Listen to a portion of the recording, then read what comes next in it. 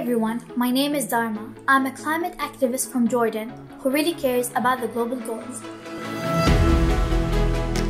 Growing up, sometimes people ask me, why are you worrying about this stuff now?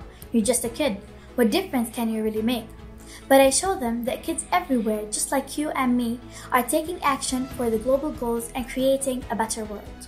A kid in Tanzania wrote a letter to the President of the United States asking for help to get clean water to her community, and she succeeded. Vijana tujiamini, tukitoa sauti tunasikika. Mimi ni msichana mmoja, sauti yangu ni ya muhimu sana. Another stood up for what he believed in and spoke out against his public school administration, demanding that they didn't close his school.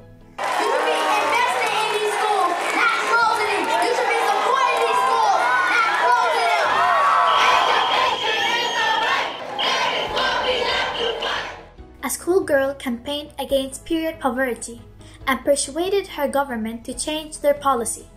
Everyone should get an education, and if periods are holding us back, we have a serious, serious problem. Children from all over the world are seeing things they think are wrong, speaking up and asking for change. You can make a start by writing a message asking for climate and environmental education. Imagine what your message could do.